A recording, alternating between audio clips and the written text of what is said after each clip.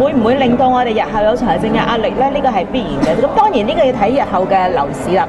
因為、嗯、根據個法例，我哋嘅收購價係必須要以同區七年樓齡嗰個價錢嚟計。如果市場嘅樓市係一路向上升嘅話呢可以預期我哋日後收購嘅成本呢亦都會繼續上升。除非呢個法例係有任何嘅修改。